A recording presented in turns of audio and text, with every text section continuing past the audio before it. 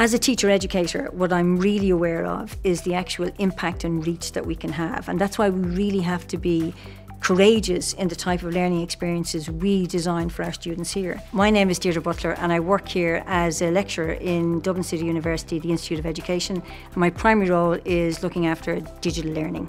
The Bachelor Education programme is a four-year degree programme for primary school teachers. So in their fourth year we designed a special module around game-based learning and all 400 of those students engage with that module.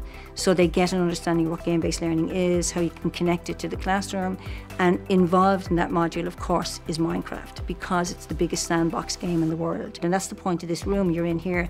It's an immersive learning experience. The difference the room here has made and the Minecraft studio is the fact that students' understanding of learning is completely challenged. We don't want them going in and actually designing learning experiences for students that they actually experience themselves.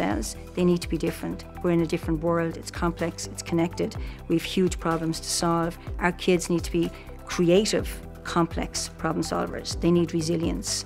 They need to be able to think on the spot.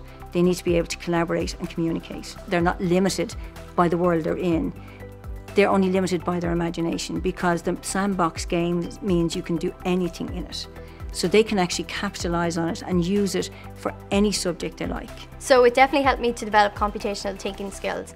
And these are skills that are not just isolated set of skills, they can be used across an array of subjects. 85% of our students are female.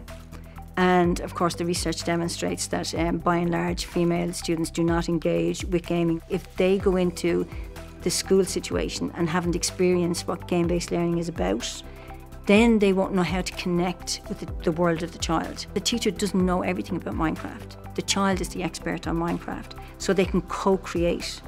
The, the teacher designs the learning experience and they say, maybe we want to look at the Normans and we want to say, well, what did a Norman encampment look like? What did a Viking encampment look like? When you move away from the convention of the textbook, which often dictates how a topic should be taught, or is this the Minecraft education? It you have the control to be as creative as you want, to set as creative and challenging um, projects or worlds or tasks for your children. The learning environment is really different. It's fun, it's engaging, but more importantly, we actually now have a means by which we can go deep. By using a game such as Minecraft, it means we're connecting home, school, inside world, outside world, so that the, the boundaries are blurred.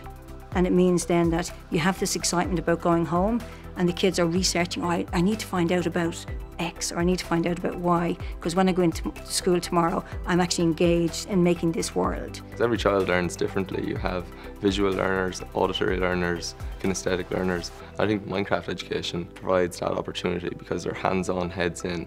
I think it's just the energy and the buzz it creates in a room. As soon as you say the word Minecraft, you get an automatic response. Kids are nearly jumping out of their seats before they even know what you want them to do. And I think as a teacher, that's a great energy to be able to work with. The kernel of Minecraft Education Edition is the most importantly, the children and learners are having fun. And that's what learning is supposed to be.